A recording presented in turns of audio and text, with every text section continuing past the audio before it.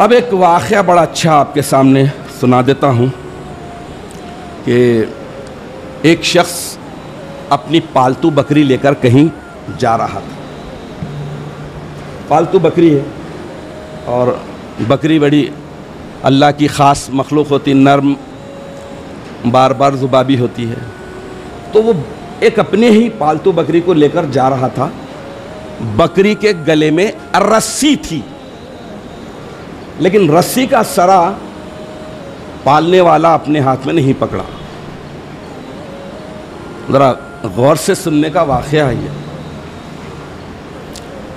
अब एक दूसरा शख्स देखा कि पालतू बकरी है और मालिक के पीछे पीछे पीछे चले जा रही है। रस्सी भी मालिक के हाथ में नहीं है। मालिक यूँ टन हुआ, यूँ टन यूँ टन हुआ, यूँ टन ऊपर चढ़ा, ऊपर चढ़ी, नीचे उतरा, नीचे।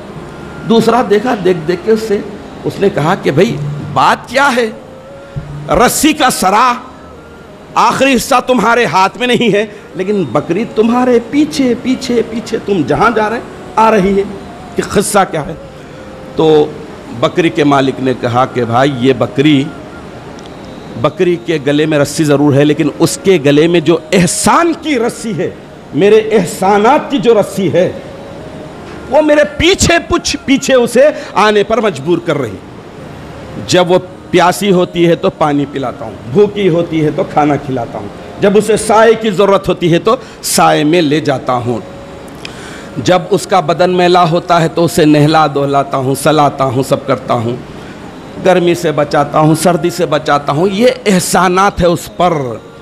और यही मेरे एहसानात हैं जो उसे एहसानात की रस्सी में बाँध रखे हैं। ये सुनकर जो दूसरा आदमी सवाल किया था, वो ज़ारो ख़तार रोने लगा। उसकी मुँह से आह निकली, सर्द भरी आह निकली और उसके बाद उसने कहा कि हाय हाय, हम कैसे बंदे हैं? अल्लाह ताला के बेशुमार एहसानात हैं। बेशुमार एहसानात थे उसके एहसानात की रस्सी ने हमें बाँध रखा है।